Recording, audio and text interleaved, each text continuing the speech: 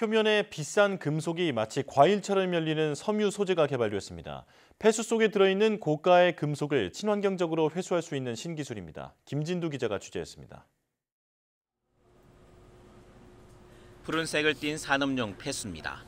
보통 반도체 공정에서 나오는데 구리가 많이 들어있는 게 특징입니다. 이 폐수에 아크릴 섬유를 표면 처리한 소재를 넣어주고 현미경으로 관찰했습니다. 매끈하고 긴 섬유 가닥 표면에 뭔가가 붙더니 자라기 시작합니다. 구리 결정입니다. 크기가 점점 커지더니 스스로 떨어져 나가고 다시 구리 결정이 붙어 자랍니다. 이렇게 떨어진 구리 결정은 바닥에 가라앉게 됩니다. 따라서 다른 화학적 처리 없이 결정만 잘 걸러서 모으면 비싼 금속인 구리의 회수가 가능한 겁니다. 국내 연구진이 최초로 개발한 금속 흡착용 자가 재생 섬유 소재입니다. 금속을 흡착할 수 있는 기능기는 질소 원자로 주로 구성되어 있고요. 질소 원자는 그 전, 다량의 전자를 가지고 있습니다.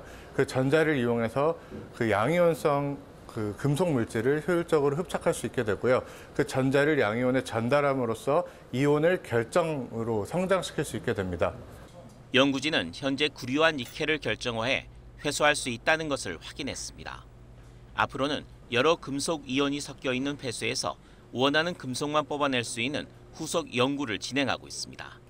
다양한 산업 폐수가 존재하다 보니까 다양한 물질들 중에 선택적으로 어떤 유용 자원을 유용 금속을 회수할 수 있는 어떤 기능기를 부여할 수 있는 추가적인 연구는 현재 진행 중에 있습니다.